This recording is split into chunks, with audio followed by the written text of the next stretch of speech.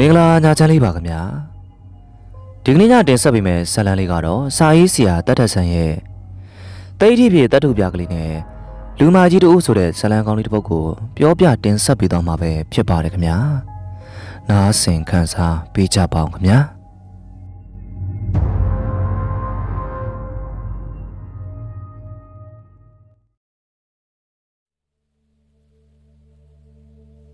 ကျွန်ုပ်ဒီချမ်းသာကြွယ်ဝတဲ့ကြီးရက်ခေါ်လူကုန်ထံမိသားစုတစ်ခုမှာ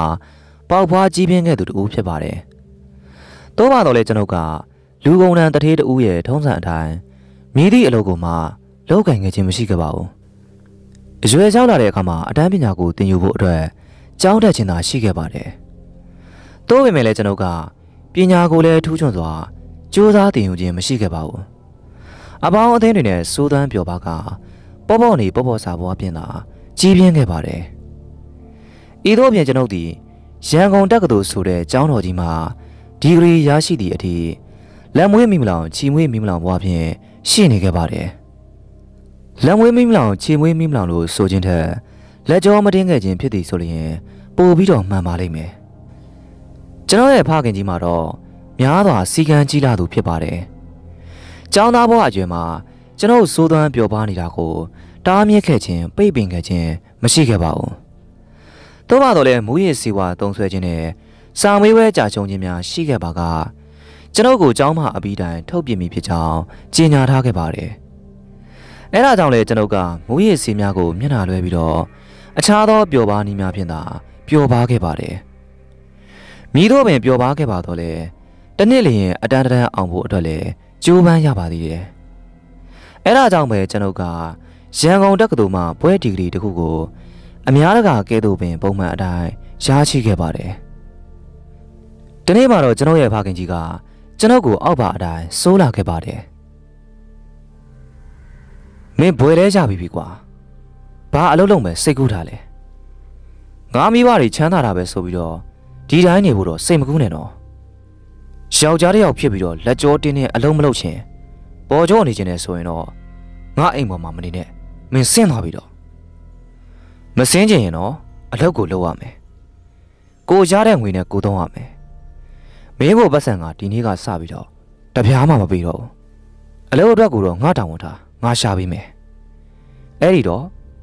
ဘာအလုပ်လုပ်ချင်တယ်လဲဆိုတာငါ့ကိုပြောပါဖခင်ကြီးမှထိုးထိုးဆူလာတဲ့အခါကျွန်ုပ်ဒီမျက်လုံးပြူသွားပါတယ်ကျွန်ုပ်ဒီမြည်သည့်အလုပ်ကိုမှလက်ကြောတင်းသွားလောက်ကင်ခဲ့သူမဟုတ်ပါဘူး။ ဘာလို့ရမှလည်းမသိဆိုသလိုရှိနေပါတယ်။အဲဒါကြောင့်လေကျွန်ုပ်ကကြေးရတဲ့တို့ရဲ့ထုံးစံအတိုင်းကြီးကြီးကျယ်ကျယ်အလုံးများကိုမှန်းဆပြီးတော့ဖခင်ကြီးကိုပြောလိုက်ပါတော့တယ်။ကျွန်တော်တင်းမောလိုက်ချင်တယ်ဖေ။နိုင်ငံခြားတင်းမောနော်။ဖခင်ကြီးလည်းကျွန်ုပ်စီမှာစကားတန်ကိုကြားရတာနဲ့အောက်ပါအတိုင်းရေလျှော့ပါတော့တယ်။ထို့ကြီး မင်းတို့လက်ကြောမတင်တဲ့ကောင်ကနိုင်ငံသားအသင်းမောလိုက်ချင်သေးတယ်ဟုတ်လားယောမင်းသိသွားလိမ့်မယ်ဘာမှနေလေအဲ့ဒီတော့ငါစကားကိုမင်းနားထောင်ပါမင်းသင်းမောသားလှုပ်ချင်သလားဖခင်ကြီးမှထိုးထိုးဆိုရတဲ့အခါကျွန်တော်လည်းလွယ်ကူသားပင်ခေါင်းကိုညှိပြခဲ့ပါတယ်အဲ့ဒါဆိုရင်မနက်ဖြန်ကစပြီးတော့မင်းငါးဆိုင်တဲ့ကိုလိုက်ခဲ့ပြီးတော့တင်းမောမလိုက်ခင်မှာ ငါရဲ့ site ထဲမှာလိုက်ပြီးတော့ကျင်သားကြအောင်အရင်အလုပ်လုပ်ရမယ်။ကောင်းကောင်းလုပ်နိုင်ပြီဆိုရင်တော့တင်းမောလိုက်ဖို့ကိစ္စကိုငါဖြစ်အောင်စီစဉ်ပေးမယ်။ငါ site ထဲမှာလုပ်တဲ့အတွက်လည်းမင်းလုပ်အားကတော့ရမှာပေါ့။အဲ့ဒီလုပ်အားကကိုမင်းဟာမင်းတော့ပို့လို့လည်းမပေးနဲ့လိုလို့လည်းတောင်းဖို့မစင်စားနဲ့လောက်အောင်တော့မလောက်ရင်တော့ကွာအငတ်ခံပြီးတော့နောက်တစ်နေ့မှာတော့ကျွန်တော်က ဖခင်ကြီးရဲ့စောက်လုပ်ရေးလုပ်ငန်းခွင်ကိုဖခင်ကြီးနဲ့အတူလိုက်ခဲ့ရပါတယ်။ဖခင်ကြီးကကျွန်ုပ်ဟာသူ့ရဲ့လက်အောက်မှာခိုင်းစီခြင်းမရှိပါဘူး။ကျွန်ုပ်ကိုမြေကြီးတူးတဲ့အဖွဲ့ရဲ့ခေါင်းဆောင်ကိုအေးဝင်းထံကိုအလုသမားအဖြစ်အနှံခဲ့ပါတယ်။ကျွန်ုပ်အတွက်မုတ်ဖိုးပေးခြင်းကိုလည်းရက်ဆိုင်လိုက်ပြီးဖြစ်ပါတယ်။အစပထမမှာတော့ကိုအေးဝင်းကကျွန်ုပ်ကိုသူ့ရဲ့အလုပ်ရှင်ရဲ့သားဖြစ်တာကြောင့်များစွာခိုင်းစီခြင်းမရှိဘဲနဲ့တက်တောင်တက်တာနေစေခဲ့ပါတယ်။ ကျွန်ုပ်ဒီလည်းမြည်တော့မှပင်မန်းကြီးစွာမလုပ်ရသဖြင့်နေရိပ်မှထိုင်ပြီးတော့ဆက်လက်တောက်ခြင်းရင်နှွေးတောက်ခြင်းစကားပြောခြင်းဖြင့်သာများစွာတတ်တာခဲ့ပါတယ်။တနေ့မှတော့ကျွန်တော်ရဲ့ဖခင်ကြီးကကိုအေးဝင်းကိုခေါ်ပြီးတော့ကျွန်တော်အားအများနည်းတူအလုပ်ကိုခိုင်းစေဖို့ညွှန်ကြားခဲ့ပါတယ်။တတ်တော်တတ်တာထားပါကကိုအေးဝင်းကိုပါအလုံးမှာထုတ်ပြမိဖြစ်ကြောင်းဆိုပါတော့တယ်။အဲဒါကြောင့်လေကိုအေးဝင်းကကျွန်တော်ကိုအများနည်းတူအလုပ်ခိုင်းရပါတယ်။ ကျွန်တော်ကလည်းအများနည်းတူလုပ်ရပါတော့တယ်။တိုးဝင်မဲ့လေကျွန်တော်ရဲ့တသက်နဲ့တကူဤကဲ့သို့ပင်ပန်းကြီးစွာလောက်ကင်ခဲ့မှုချင်းမရှိပါဘူး။ကျွန်တော်ဖို့မှာတော့အများနည်းတူမဟုတ်ဘဲနဲ့ပို့ပြီးတော့ပင်ပန်းတယ်လို့ရှိနေပါတယ်။တိုးပြတာကြောင့်ကျွန်တော်ဒီအလုပ်သိမ်းပြီးတော့အိမ်ကိုရောက်တာနဲ့ညစာကိုစားကဟန်ပင်မဆောင်နိုင်တော့ဘဲနဲ့အိတ်ရာအတွင်ကိုဝင်ခဲ့ရပါတယ်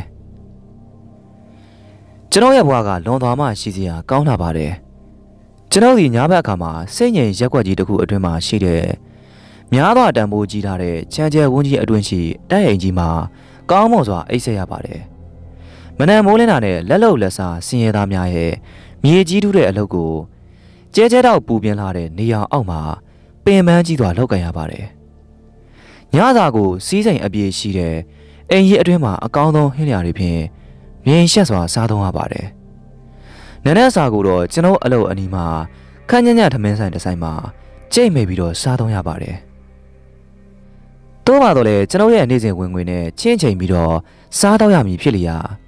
ကျွန်တော်မှနေ့စဉ်နေ့တိုင်းပဲပြုံးဖြင့်သာနှစ်ပါးသွားရပါတယ်။ဒီနေ့မှာတော့အဲ့ဒီခန်းညညထမင်းဆိုင်မှာစံရှင်မိန်းမကြီးကကျွန်တော်ကို အောက်ပါအတိုင်းဆိုလေတော့တယ်ရှင်ကအသားတွေငါးရီနဲ့ရန်ဖြစ်ထားတယ်တူတယ်နော် နေတိုင်းပဲပြုတ်ကြီးပဲစားနေတာတွေ့လို့ကျွန်ုပ်တည်တဲ့မိသုံးမှာပြန်လဲပြောဆိုခြင်းမရှိဘဲနဲ့အေးပြာလို့သာစိုးလိုက်နိုင်ပါတယ်အဲ့ဒီအခါအဲ့ဒီမိန်းမကြီးရဲ့သားပြန်တူတဲ့ကောင်လေးကဝင်ပြီးတော့ပြောလာပါတယ်ပဲပြုတ်လို့မပြောပါနဲ့အမေယာဦးလေးကြီးတိတ်ခါကြပါတယ်လင်းအော်သားလို့ပြောစမ်းပါလင်းအော်သားဆိုတာမနဲ့မိုးလင်းတာနဲ့အော်တန်ကြားတဲ့ပဲပြုတ်ဆိုတာလူတိုင်းသိပါတယ်အမေရဲ့ ကျွန်ုပ်ဒီတဲ့အဲ့ဒီလူငယ်လေးရဲ့စကားကိုသဘောကျသွားဖြင့်မှတ်သားထားလိုက်ပါတယ်နောက်နေ့များမှာတော့အဲ့ဒီခန်းညံ့ညံ့ထမင်းဆိုင်လေးမှာလင်းဟော်သားနဲ့ထမင်းတစ်ပွဲကိုမှာယူပြီးတော့စားသုံးတတ်တဲ့ကျွန်ုပ်ကိုအဲ့ဒီဆိုင်လေးမှာဖောက်တယ်များတွေ့မြင်ဘူးကြပါလိမ့်မယ်အဲ့ဒီဆိုင်လေးမှာအရင်ကမြေနီကုန်းဈေးရဲ့အရှိမဖွင့်လေရောင်းချတဲ့ဆိုင်ကလေးတစ်ဆိုင်ဖြစ်ပြီးတော့အဲ့ဒီဆိုင်ကလေးရဲ့ဖောက်တယ်များကအထက်ပါအနေတိုင်းမှာယူစားသုံးကြတဲ့ကျွန်ုပ်ကို တွေ့ဘူးမြင်ဘူးကြပါလိမ့်မယ်ဒီနေ့မှာတော့ကျွန်ုပ်တို့ရဲ့မြေတူအဖွဲ့ကလွန်စွာပင်ကျယ်ဝန်းထားတဲ့ကျင်းကြီးတစ်ခုကိုတွေ့ရပါတယ်အဲ့ဒီကျင်းကြီးမှာတော့အဆောက်အုံအတွက်အကြီးမားဆုံးသောဖောင်ဒေးရှင်းချရမယ်ကျင်းကြီးဖြစ်တာကြောင့်နက်လဲအတော်မှနက်လာပါတယ်အဲ့ဒါကြောင့်လဲကျွန်တော်တို့ကအဲ့ဒီကျင်းကြီးကိုတူးတဲ့အခါမှာတော့နှစ်ရက်ပင်ရှိတော့လဲမပြီးနိုင်ပဲရှိနေပါတယ်။ တို့ရမှာတော့ကျွန်တော်တို့ကအဲ့ဒီချင်းကြီးကိုတတိယနေ့မှာဆက်လက်ပြီးတော့တူးရပြန်ပါတယ်။ပြီးလို့ပြီးခင်အချိန်ကိုရောက်တဲ့အခါမှာတော့ကြောက်ပြကြီးတစ်ချက်ကကန်းနံခန်းနေတာကိုတွေ့ရပါတယ်။ကျွန်တော်တို့လည်းစောက်တွေစို့တွေဖြင့်ကြောက်ပြကြီးကိုထွင်းပြီးတော့ဖျက်ရပြန်တယ်။ထို့သောကြောက်ပြကြီးကိုထွင်းပြီးတော့ဖျက်တဲ့အခါအဲ့ဒီကြောက်ပြအောင်မှာမြေကိုဆက်ပြီးတော့တူးရပြန်တယ်။ကျွန်တော်တူးနေတဲ့မြေကြီးအတွင်းမှာဆက်ပြဘူးကွန်အကျွဲကန်းရှိတဲ့ရွှေအိုရောင်တတုဘူးကလေးတစ်ခုကို ထူးဆန်းစွာပေါ်ထွက်လာခဲ့ပါတယ်ကျွန်ုပ်ကလည်းအဲ့ဒီဘူးငယ်လေးကိုကောက်ယူလိုက်ပြီးတော့အနီးမှာရှိနေတဲ့သူတွေကိုခေါ်ပြီးတော့ပြလိုက်ပါတယ်အနီးမှာရှိနေတဲ့သူတွေဒါမကစိုက်တစ်ခုလုံးမှလူတွေကကျွန်ုပ်အနီးကိုဝိုင်းအောင်လာခဲ့ပါတယ်ထိုလူတွေထဲမှာတော့ကျွန်ုပ်ရဲ့ဖခင်ကြီးတဲ့ပါလာပါတယ်ကျွန်တော်ရဲ့လက်အတွင်းမှာဘူးငယ်ကိုကြည့်ပြီးတော့အတွင်းမှာမြည်သည့်အရာရှိမိကိုတယောက်တစ်ပေါက်စုလို့ဝိုင်းပြီးတော့အမျိုးမျိုးထင်ကြီးပေးနေကြပါတယ် ကျွန်တော်ကလည်းအဲ့ဒီဘူးငယ်အားဖွင့်ပြီးတော့ကြည့်ပါရင်စိုးနေကြပါတယ်ကျွန်တော်ဒီအဲ့ဒီဘူးငယ်ကိုမဖွင့်သေးဘဲနဲ့ဘူးငယ်ကိုတေးချသွားကြည့်ရှုပါတယ်ဘူးငယ်ရဲ့အပြင်ဘက်မှာတော့ကောက်ရီကောက်ဝေးနိုင်လာတဲ့အခရာတရံနေနဲ့ငှက်ရုပ်တန်းရုပ်လှန်ယုံများစွာကိုရေးဆွဲထားပါတယ်ထိုတရံများကလှုပ်ဝက်စာရင်းနေကဲ့သို့ပါရှိနေခြင်းဖြစ်တာကြောင့်ကျွန်တော်ရဲ့စိတ်ထဲမှာလည်းစာများပြင်ဖြစ်လိမ့်မယ်လို့တွေးမိပါသေးတယ်။ တိုးပါတော့လေကျွန်တော်အနေနဲ့တော့ဖတ်ရှုနားလဲနိုင်စွမ်းမရှိခဲ့ပါဘူး။တိုးရမှာတော့အဲ့ဒီဘူးငယ်ရဲ့အတွင်းမှာအလျားနှလမ်းမနဲ့အနံတလဲမကွဲအရွယ်ရှိတဲ့တတ်ထုပြားတစ်ပြားပါရှိခဲ့ပါတယ်။အဲ့ဒီတတ်ထုပြားအပေါ်မှာတော့ကုန်ပစ္စည်းအမှတ်တစိတ်တစ်ခုကဲ့သို့အောက်ပါပုံတံအတိုင်းဖောင်းချွာတွေပါရှိပါတယ်။ကျွန်ုပ်ဒီအဲ့ဒီတတ်ထုပြားလေးအားစာဘတ်သူတို့ကိုတင်ပြရန်အလို့ငါ ဓာတ်ပုံရိုက်ပြီးတော့ယူခဲ့ပါတော့လေပုံထဲမှာမြည်သည့်အရာမှမထင်ခဲ့ပါဘူး။အဲ့ဒါကြောင့်လည်းအဲ့ဒီတတ်ထုပြားလေးပေါ်မှာပါရှိတဲ့တစိမ့်လေးကိုအနည်းဆက်ဆုံးဆင်တူထားပြီးတော့တက်အားသမျှဆွဲသားပြလိုက်ရပါတယ်ဟုတ်ကဲ့ကျွန်တော်ရဲ့ဇလန်းထဲမှာပါရှိတဲ့ပုံကလေးပဲဖြစ်ပါတယ်ခင်ဗျာကျွန်တော်စီကိုရောက်လာသူတွေကအဲ့ဒီတထုပြလေးကိုကြည့်သည်ဆိုရုံများကြည့်ပြီးတော့အနေငယ်ပင်စိတ်ဝင်စားခြင်းမရှိကြပါဘူးပြီးတဲ့နောက်မှာတော့၎င်းတို့ရဲ့လုံနေကြနေရာစီကိုပင် ပြန်ပြီးတော့သွားကြပါတယ်ကျွန်တော်ရဲ့ဖခင်ကြီးကလည်းကျွန်တော်ဟာထိုးထိုးပြောလာပါတယ်လွတ်ပြလိုက်စမ်းပါကွာရွှေတစ်တာလည်းမဟုတ်ပါဘူးအထဲမှာရင်နာတွေဘာတွေလဲဘာမှလည်းမပါပါဘူးဘာမှမသိတဲ့တတ်ထုပြားတစ်ခုပဲပါလာတာပြီးတော့အဲ့ဒီတတ်ထုပြားကလည်းရွှေပြားမဟုတ်ပါဘူးကွာဘာမှတန်ဖိုးမရှိတာကိုအပင်ပန်းခံပြီးတော့တိတ်မနေပါနဲ့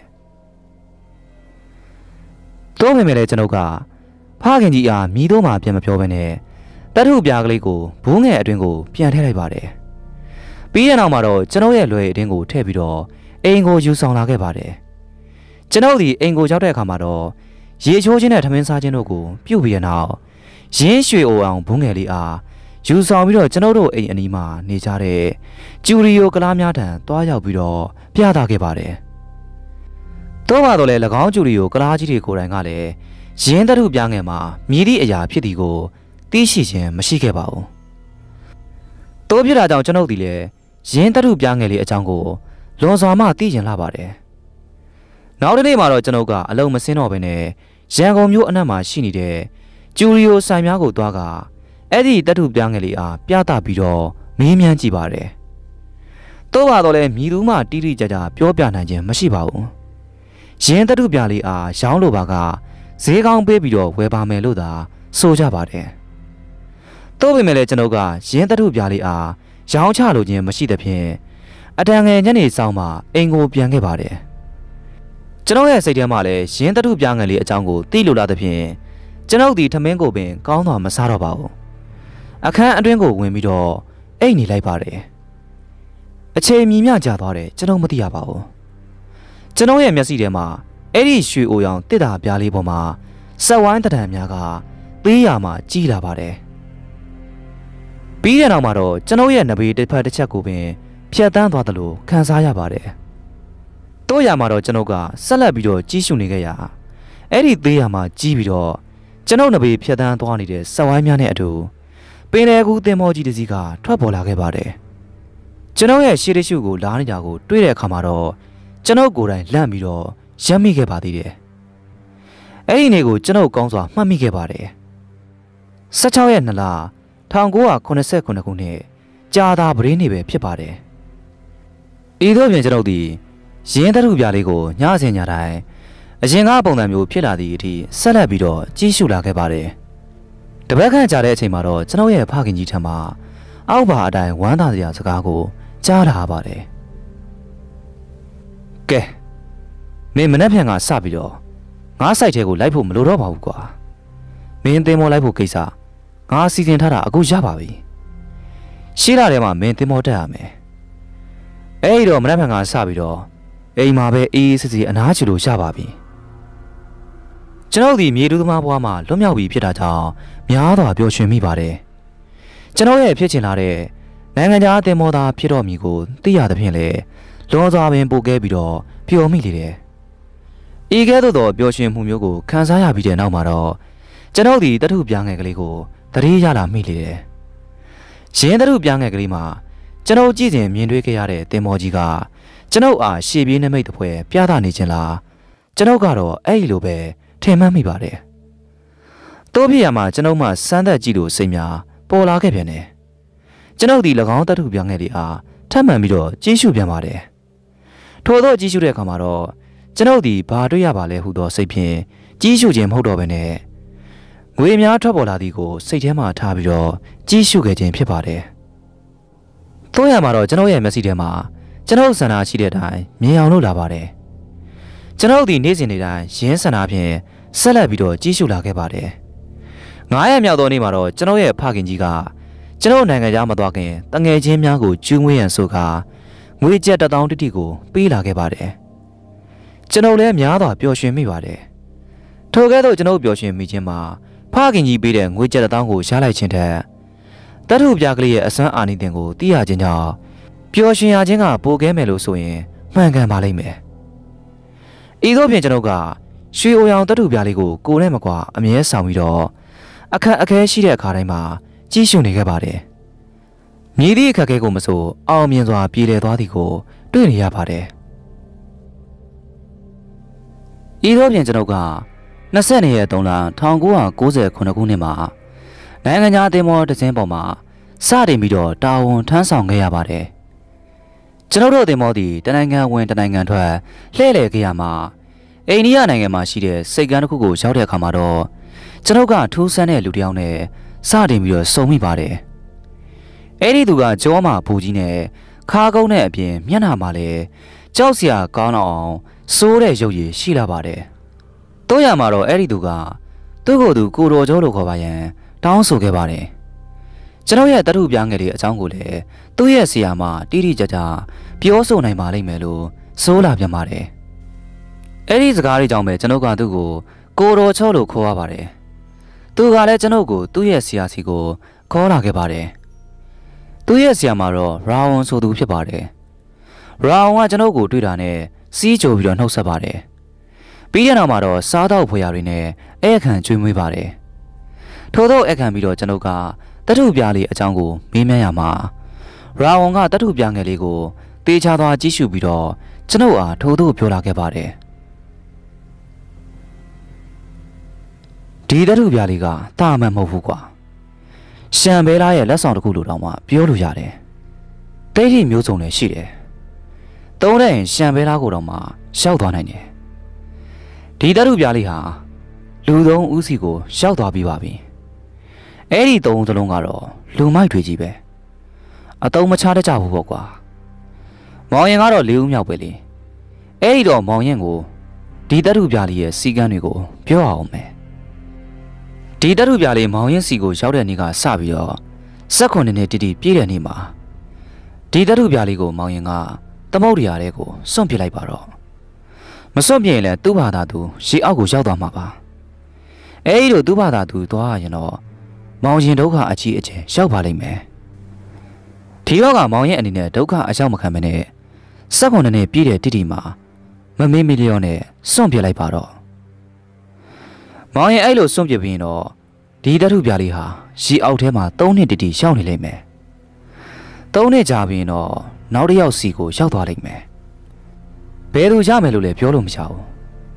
ရီအောက်ထဲကပစ္စည်းဖြစ်နေလို့ရေလုံသားပဲရမှာပေါ့လို့လည်းထင်လို့မရဘူးသူ့ဘာသာသူနေရာရွှေ့ပြီးတော့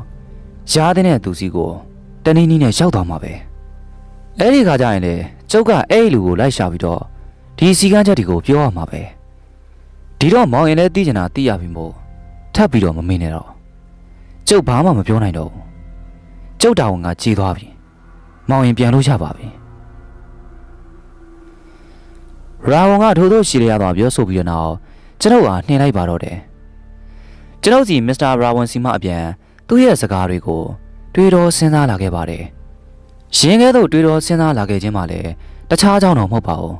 ။ရာဝန်ရဲ့စကားအပေါ်မှာယုံတဝဲမယုံတဝဲရှိနေခဲ့ခြင်းကြောင့်သာဖြစ်ပါတော့တယ်။တို့ရမှာတော့ကျွန်ုပ်က မစ္စတာရာဝန်ရဲ့စကားကိုမေ့ပစ်ခဲ့ပြီးတော့ကျွန်ုပ်ရဲ့ဆန္ဒရှိတဲ့အတိုင်းသာနေမြဲနေခဲ့ပါတယ်။ဤသို့ဖြင့်ကျွန်ုပ်ကအောက်ခြေတင်မောသားလေးဘဝမှာအစင်းစင်ယာရူးတိုးပြီးတော့သင်းမောရဲ့အကြီးဆုံးကပ်ပရင်ယာရူးကိုရရှိခဲ့ပါတော့တယ်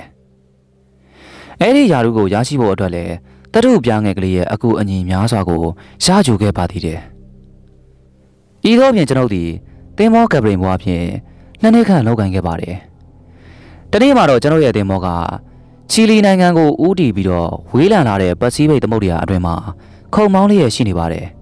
။ယာဒီဥထုမှာလည်းကြည်လင်သားရလေးရရှိနေပါတယ်။ချီလီနိုင်ငံနဲ့လည်းများစွာဝေးကွာလာတဲ့ဖြင့်ကျွန်ုပ်ဒီနနက်စာစားသုံးပြီးနောက်အခန်းအတွင်းကိုဝင်ပြီးတော့တရေတမောအိတ်နေခဲ့ပါတယ်။ဤတော့ကျွန်ုပ်အိတ်နေတဲ့အချိန်ကျွန်ုပ်ဒီထထူးဆန်းတဲ့အိမ်မက်တစ်ခုကိုမြင်မှတ်ခဲ့ပါတယ်။အဲ့ဒီအိမ်မက်ထဲမှာတော့ မစ္စတာရာဝန်ကကျွန်ုပ်ကိုစိုက်ပြီးတော့ကြည့်နေပါတယ်။သူ့ရဲ့ဘေးမှာတော့လွန်စွာမှရုပ်ဆိုးလာတဲ့ကိုတော်ချောကိုတွေ့ရပါတယ်။ရာဝန်ကကျွန်ုပ်ကိုကြည့်နေရမှာအောက်ပါအတိုင်းပြောလာပါတယ်။ကောင်းလေးထထထပြီးတော့မင်းစီမှာရှိတဲ့တတ်ထုပြလေးကိုစွန့်ပစ်လိုက်ပြီးတော့ဒီနေ့ဟာတတ်ထုပြလေးမင်းစီမှာ18နှစ်တိတိပြည့်တဲ့နေ့ပဲမစွန့်ပြရင်တော့ပုံတိုင်းတွေကမင်းရဲ့တင်မောက်ကိုနစ်မြုပ်ပြီးတော့ တတ်ထုပြလေးရေအောက်ကိုရှောက်သွားအောင်လှုပ်ချနိုင်မယ်အဲ့ဒီအခါမှာမင်းရောမင်းရဲ့လူတွေပါဒုက္ခရောက်ကြလိမ့်မယ်ဒီတော့သူတို့ရဲ့အသက်ကိုကယ်တဲ့အနေနဲ့သူ့ရဲ့စီကံအတိုင်းစွန့်ပစ်လိုက်ပါတော့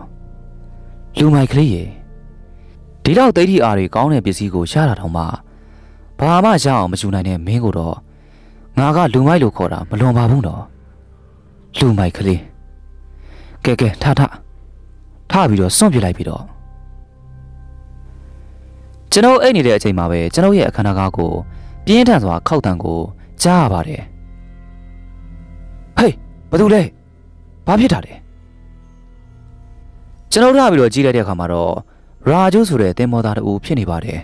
။မှုံတိုင်းကြားတော့မှဖြစ်တာကြောင့်လာလျှောက်ပြီးတော့အကြောင်းကြားပါကြောင်းကိုလည်းဆိုလာခဲ့ပါတယ်။ကျွန်ုပ်ဒီလည်းအခန်းအတွင်းမှာထွက်ပြီးတော့ကြီးရှုခဲ့ပါတယ်။ကောင်းကင်ကြီးတစ်ခုလုံးကမဲမောင်နေတာကိုအံ့အားသင့်တာတွေ့ရပါတယ်။ ကျွန်ုပ်ဒီများစွာအံ့ဩမိပါတယ်။ကျွန်ုပ်အိတ်တဲ့အချိန်မှာနာယီဝက်ခတ်ပင်ကြာခဲ့ပါတယ်။တော့ပါတော့လဲမအိတ်မီကကြည်လင်းနေတဲ့ကောင်းကင်ကအခုအခါမှာတော့လွန်စွာမှပင် အကြီးတန်းနေပါတော့တယ်။လေးတိုင်းလုံးကလည်းတဖြည်းဖြည်းနဲ့ပြင်းထန်လာခဲ့ပါတယ်။လှိုင်းတွေကလည်းကြောင်းမက်ဖွယ်ကောင်းတော့အောင်ပင်ကြီးမားလာခဲ့ပါတယ်။တိုးဖြစ်တာကြောင့်ကျွန်ုပ်ဒီအန်အောနေုံမြမကားတော့ဘဲနဲ့မစ္စတာရာဝန်ရဲ့စကားတွေကိုပြန်လည်ပြီးတော့ကြားရောက်လာပါတယ်။ ပြီးရနောက်မှာတော့ကျွန်ုပ်ရဲ့အခန်းအတွင်းကိုဝင်ပြီးတော့ဗီဒီယိုအတွင်းမှာရွှေအိုရောင်ဘူးငယ်လေးကိုထုတ်ပြီးတော့ယူလာပါတယ်။ပြီးရခါမှာတော့ကျွန်ုပ်ဒီအပြင်ကိုထွက်လာခဲ့ပါတယ်။ရင်းရွှေအောင်တထုဘူးငယ်လေးကိုဖွင့်ပြီးတော့အတွင်းမှာတထုပြားငယ်လေးအားနောက်ဆုံးအကြိမ်ကြီးစုခြင်းအနေဖြင့်ကြီးစုခဲ့ပါတယ်။ပြီးရတော့မှတော့ပြန်ပြီးတော့ပိတ်ပြီးတော့သမုတ်ရိယာအတွင်အဝေးတနေရာကိုအားကုန်လွှဲပြီးတော့ပြစ်လိုက်ပါတော့တယ်။ထို့သောကျွန်တော်စွန့်ပစ်ပြီးတော့မကြခင်မှာပဲ လေးတိုက်ခတ်မှုကတဖြည်းဖြည်းနဲ့ရော့ကျသွားခဲ့ပါတယ်။လှိုင်းတွေကလည်းတဖြည်းဖြည်းနဲ့ငြိမ်သွားပြန်ပါတယ်။ကောင်းကင်ပြင်ကလည်းတဖြည်းဖြည်းနဲ့ကြည်လင်လာခဲ့ရာနိုင်ဝက်ခန့်အကြမှာတော့ရာသီဥထုမှာပုံမှန်အတိုင်းပြန်လဲကောင်းမွန်လာပြီးတော့သူမဟုတ်တယ်လို့ပဲရှိနေပါတော့တယ်။တော့ရမှာတော့ရာသီဥထုမှာကြည်လင်သာယာသွားတော့လေကျွန်တော်ရဲ့စိတ်ဒီလွန်သွားမှပင်ထိခိုက်ပြီးတော့ကြံခဲ့ပါတယ်။ဤကဲ့သို့စိတ်ထိခိုက်ရခြင်းမှလည်း ကျွန်တော်အနေနဲ့တထုပြားကလေးကိုစွန့်ပစ်လိုက်ရလို့ဖြစ်တယ်ဆိုတာကိုတော့စာဖတ်သူတွေအနေနဲ့သိရှိပြီးသားဖြစ်ပါလိမ့်မယ်။ထို့သောကျွန်တော်စွန့်ပစ်လိုက်ရတဲ့နေ့မှာတော့18ရက်2လ1994ခုနှစ်တောက်ကြနေဖြစ်ပါတယ်။တို့ရမှာတော့ကျွန်ုပ်ဒီမစ္စတာရာဝန်ပြောတဲ့အတိုင်းလူမိုက်တူဖြစ်ခဲ့ပါတယ်။အဲ့ဒီတထုပြငယ်လေးမှာရှံဘဲလားကိုပင်ရှောင်းနိုင်တဲ့အစွမ်းတတိရှိပါတယ်။တို့ပါတော့လေကျွန်ုပ်ဒီအဲ့ဒီနေရာကိုမရောက်ဘဲနဲ့ လူမိုက်တူသာဖြစ်နေခဲ့ပါတယ်။အဲ့ဒီတထုပြကလေးကိုစွန့်ပစ်လိုက်ရတဲ့အချိန်မှာလေကျွန်ုပ်ဒီမြည်သည့်ပြောပါတော့သောအရာမှကြမ်းမနေခဲ့ပါဘူး။တိုးပြတာကြောင့်ကျွန်ုပ်ဒီတရုပ်ပြားကလေးကိုစွန့်ပစ်ပြီးတဲ့နောက်မှာတော့နောင်သားရလို့မဆုံးဖြစ်နေပါတယ်။ယူကြုံမရမဆုံးနိုင်အောင်ဖြစ်ခဲ့ရတာလေယနေ့တိုင်အထိပါပဲ။အခုဇက်လန်လေးကတော့ကျွန်တော်ရေးသားထားတဲ့တိတ်ထိပြေတတုပြားကလေးနဲ့လူမိုက်တူဝတ္ထု ဒါမှမဟုတ်ကျွန်ုပ်နဲ့ကျွန်ုပ်ဘွားတွေက၁၉နှစ်တည်းကောင်းကျိုးချမ်းသာပေးခဲ့တဲ့အဆောင်ငယ်လေးတစ်ခုအကြောင်းပဲဖြစ်ပါတော့တယ်။အခုကမှတော့အဲ့ဒီတထုပြားကလေးကိုကျွန်တော်စွန့်ပစ်ခဲ့ဒီမှာ၃နှစ်တောင်မှပြည့်ခဲ့ပါပြီ။တိုးပြတာကြောင့်ရင်းတထုပြားငယ်ကလေးကိုတစုံတဦးမှရရှိထားခဲ့ပါကကျွန်တော်စီကိုဆက်သွယ်ကြပါရန်သာဆိုလိုက်ရပါတယ်။ထို့သောဆက်သွယ်လာခဲ့ရင်တော့ကျွန်တော်ကတထုပြားငယ်ကလေးလက်ဝယ်ရှိတဲ့မိတ်ဆွေကို အဲ့ဒီတထုပြားငယ်ကလေးအကြောင်းကိုအခုထက်ပုံမူပြည့်စုံအောင်ပြောဆိုသွားပါလိမ့်မယ်။ဟုတ်ကဲ့ပါခင်ဗျာစာရေးဆရာတတ်ထက်ဆန်းရဲ့တိတ်ထိပြည့်တတ်ထုပြကလေးနဲ့လူမကြီးတူဆိုတဲ့ဇလန်ကောင်းလေးကတော့ဒီနေရာမှာတင်ပြီးဆုံးသွားပါပြီခင်ဗျာဇလန်လေးကိုဆုံးအောင်နားထောင်ပြီးတဲ့အတွက်အားလုံးကိုကျေးဇူးတင်ပါတယ်စီစဉ်တင်ဆက်သူကတော့ကျွန်တော်ထအောင်ပဲဖြစ်ပါတယ်ခင်ဗျာ